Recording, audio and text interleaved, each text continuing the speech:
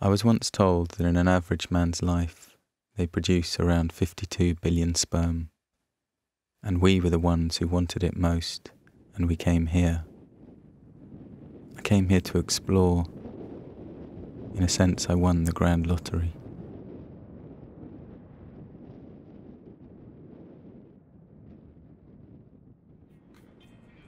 I always dreamed of exploring new places. I always dreamed that I'd learn about the world, like really learn. What do you really appreciate? Because you don't have forever. What's really important?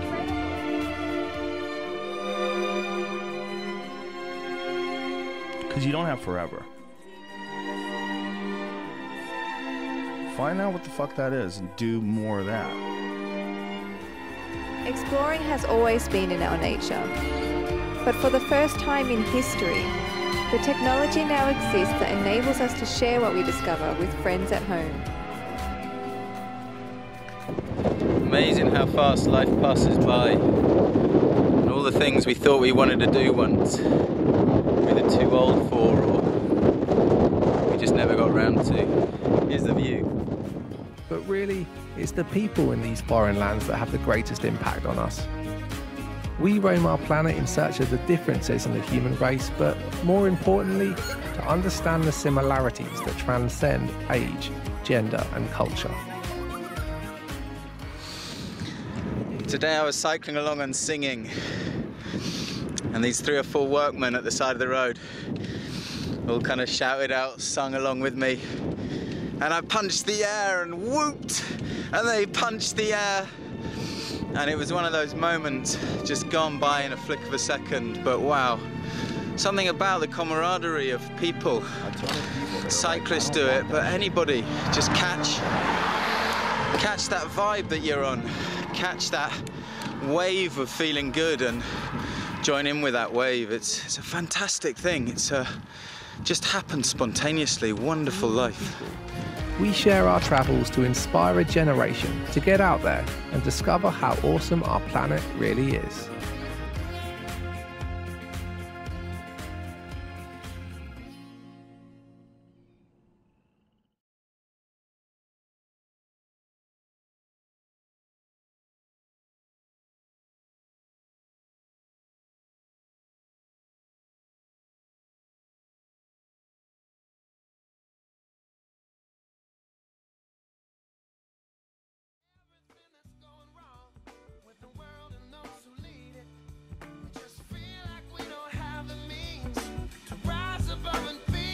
What's that George Harrison song? They beat us and scare us for 20 old years, odd years, and then they expect you to pick a career. Well, I kind of think that our society's aimed towards that. It's aimed towards kind of scaring people in a way into the idea that they should just get a career and, uh, you know, just be happy with that. And it stops people actually going out to live the life they really want. And sometimes when they're 40 or 50, they kind of go, shit, I did all that I was asked to do, and I don't really feel it. It's not really my story because I went out when I was teenager and in my 20s and didn't worry about the career or anything and lived my life. And it's all come together. I'm 46 years old now. And life has come together regardless of me having to put my shoulder to the wheel and work really hard. I've only worked at things I've really loved to do. And I, you know, I think a lot of people realize at a certain point, actually life's not just about that safety. You know, there's something about the safety which is valuable, but there's something else about freedom and love and living the dream that you always wanted to live with the girl you wanted to dream of and the life you wanted to dream of and you don't have to settle for second best in any of it. You don't have to settle for comfortable. You can really settle for amazing for freedom for joy for happiness. You know it's really just a question of choosing that and not being fearful of what may happen Wow, this place I'm in is just extraordinary.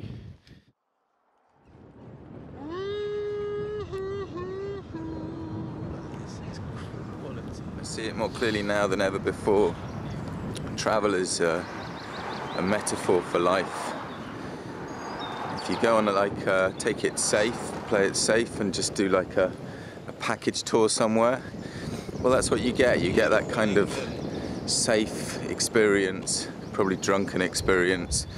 You know more or less what you're going to get, and that's why you get it. If you push the boat out, take some risks, the further you go, the more the world delivers the most incredible things that it has to deliver. And it's here almost kind of wanting to show us these things, but you got to kind of take the risk, as it were, and go. The further you go, the more you risk, the more it returns. It's kind of like an abiding law of life in in many different ways. We want you to be out in the world where all things are possible. Out where the true delight is there for you to be ready for, you see. And after a little while, you begin to feel invincible.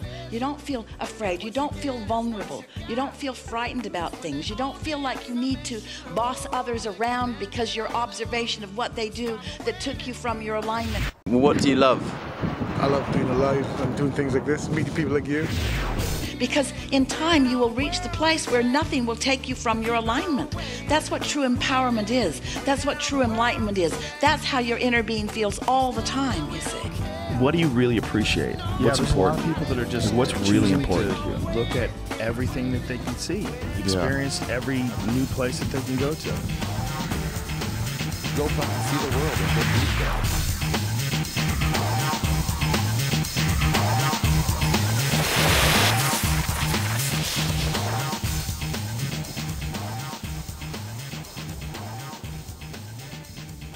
And it's how you are capable of feeling time. So just find what feels good for a little while and just hold yourself there. And then watch yourself expand into more and more and more until you will be so expansive that others will be awestruck by the breadth and depth of that which you are. And you will have an eagerness to jump into new adventures that you've never experienced before. And they will say, How dare you do that? And you say, Because I trust the process and I trust myself and I trust well being. In other words, I'm not afraid of anything because I understand that well being is the basis of who I am. It's lovely.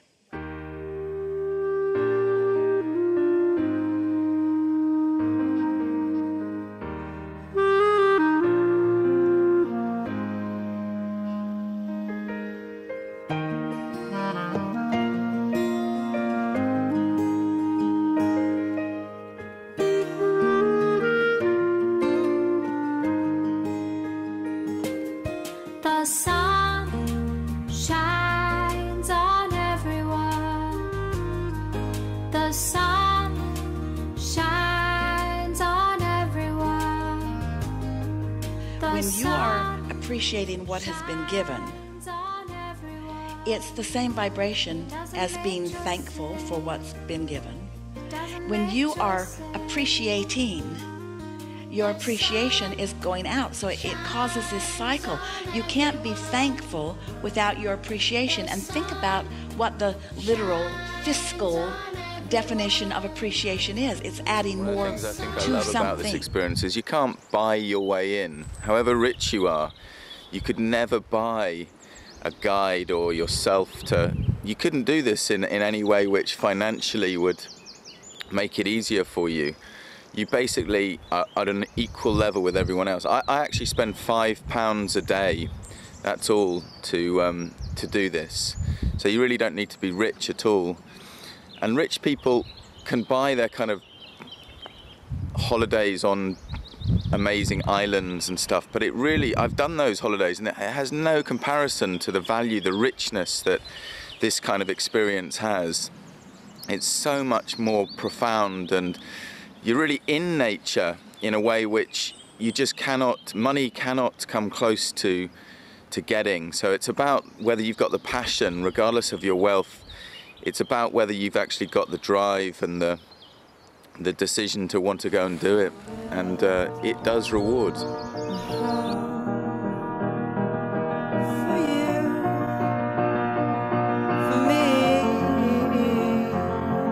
What else? Do what you want to do with your life, right? Don't don't go be doing something you don't enjoy. Don't do some money. Don't don't do that. Do what you want to do. Do what the fuck is it that you really want to do? I think there's basically three kinds of levels to life. One is just surviving. That's the hard grind. That's the fear-driven area, actually, of how am I going to get by. It can often happen when we've just left home or when you just got hardly anything and you don't know. You know, you actually you don't need to fall into that struggle to survive thing. It's a mentality place. It's one level. Another level is the one I think we're in our society we're generally told this is where you got to get to and it's comfort. And when you're there a lot of people stick there. Often they've taken ages to get out of struggle and survival. So they're just pleased to be there and then the third level is challenge or it's where all the magic happens. It's where all the real feeling of life comes from. But you got to kind of uneducate yourself from the education which essentially says get to comfortable, get to stage two. That's what you're here to do in life is to succeed and make it, get money, get houses, get cars. But many people or some people recognize that once they get there, it hasn't actually got the feeling of real amazingness of life. Often sitting there scratching their heads going, yeah, this is good, this feels safe now. But they're wondering what happened to this promise of you know the greatness that comes with house buying and marriage and safety and safe secure jobs. It's not all it's cracked up to be.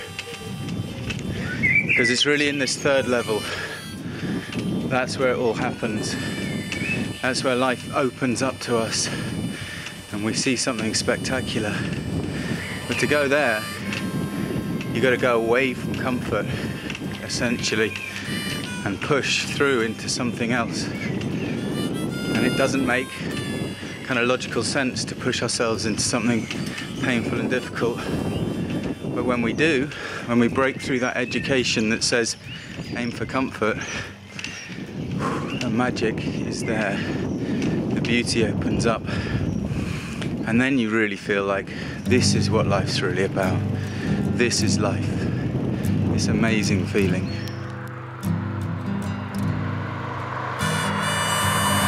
What's interesting about the three levels is it's not all about what you're actually doing.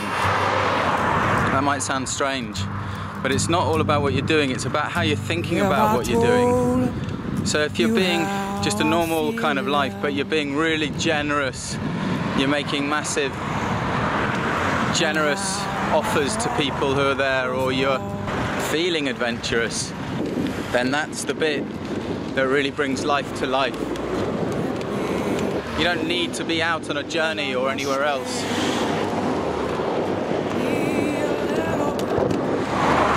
You don't need to be doing anything amazing. It's about a mentality.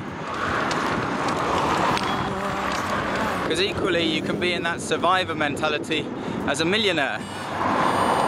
It's not about what you've got or what you're doing. It's about how you're feeling about what you're doing.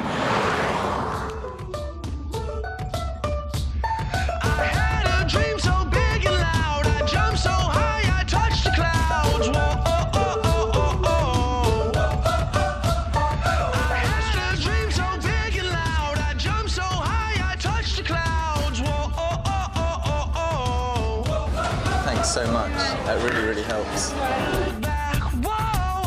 99% satisfied with life. what do you mean? What's wrong with the 100? It's coming.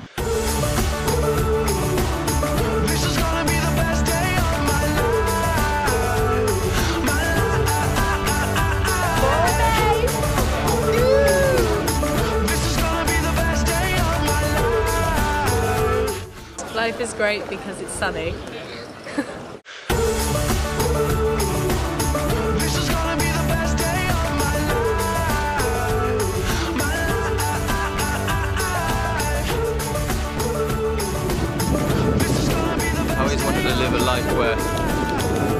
I said at the end of it, oh, I wish I'd got around to that. Life is great!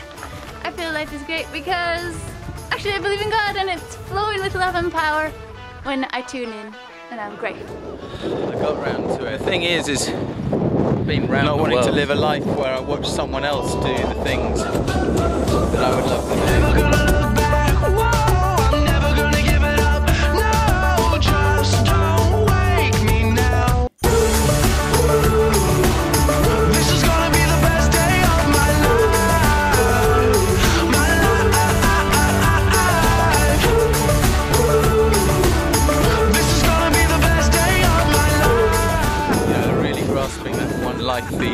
Really grasping that it's here and it's not for someone else to live. It's not someone else's adventures that matter. It's our own learning, our own trials and tribulations, struggles and joys. And those joys and struggles really come when we put ourselves out there, or when I put myself out there.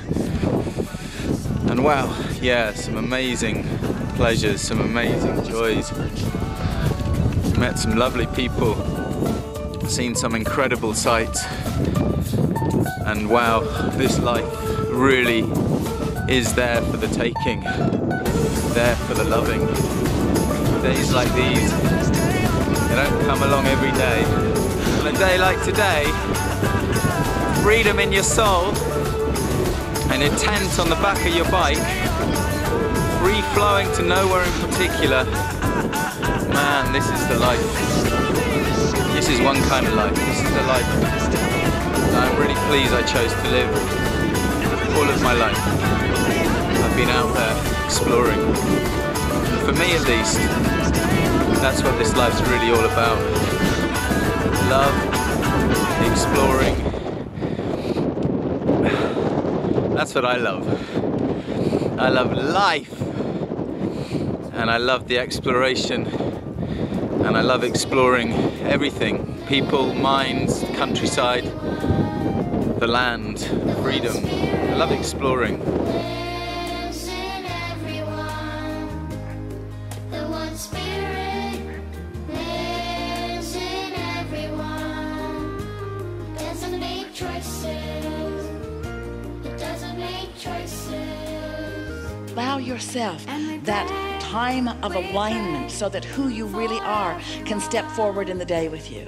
And the more often you do that, then the better every step forward into every day will feel to you, which is the whole point of all of it.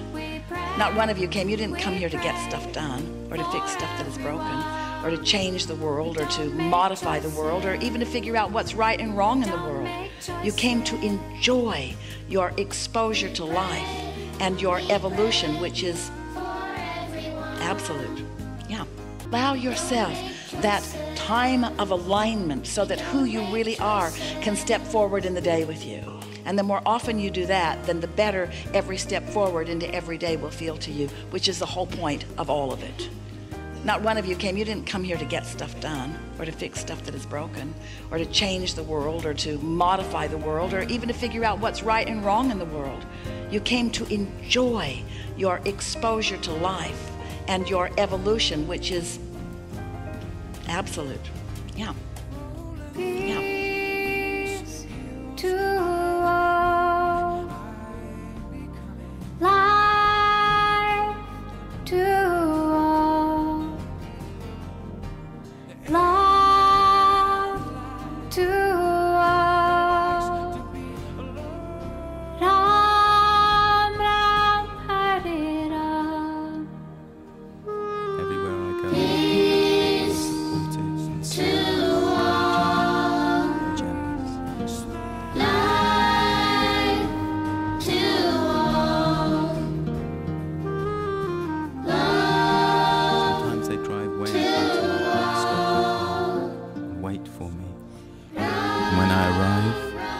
usher me over, give me some money for the charity. Oh, Peace to all, life to all, love to all. Ram, Ram, Hari, Ram. Life is great because I can ride to work in lanes like this and meet interesting people like this chap.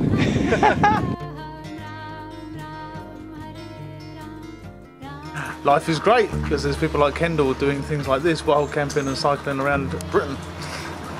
England. I'll do that again then, shall I? You've got to up your game, mate. Life is great because you can go cycling and meet wonderful people like you.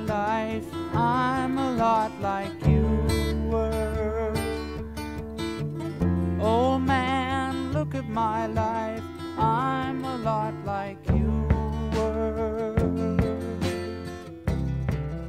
And it gives me added energy. Life is great. It's totally, and uh, I'm, uh, I don't want to. I don't want to go home. Oh man, look at my life, 24 and there's so much more. This is how life is when the river of life is flowing. It is easy and rich and tough, but deeply rewarding.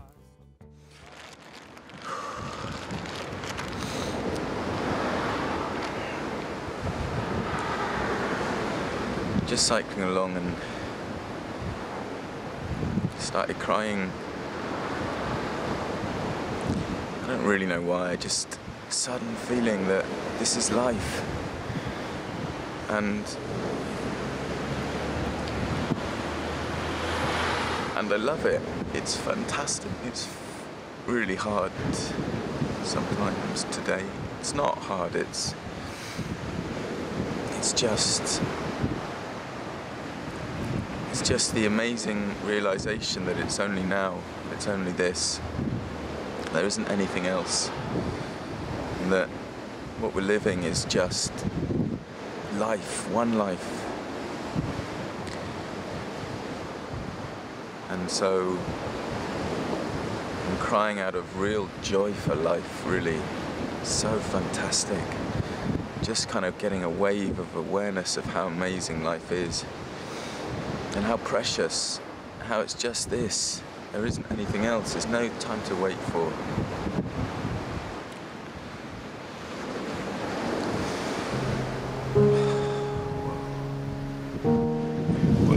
Is great, and I'll tell you why. It's because this time last year I had a massive heart attack, and I know what it's like to not be alive. So life is great.